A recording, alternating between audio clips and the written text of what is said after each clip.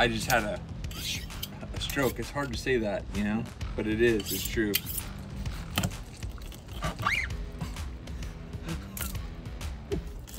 I'm gonna work. I'm gonna work on. Can I clean it? Why don't you just give yourself just a little more time to get better?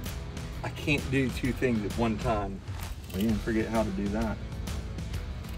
That ain't too bad. not at all. For those of you who uh who have a stroke, it can happen to anybody at any time. It's a silent killer.